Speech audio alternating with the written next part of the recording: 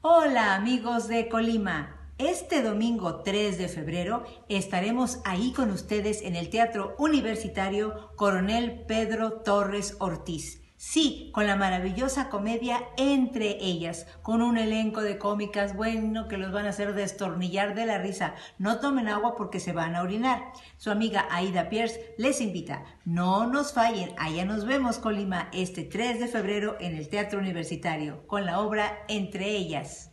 Beso.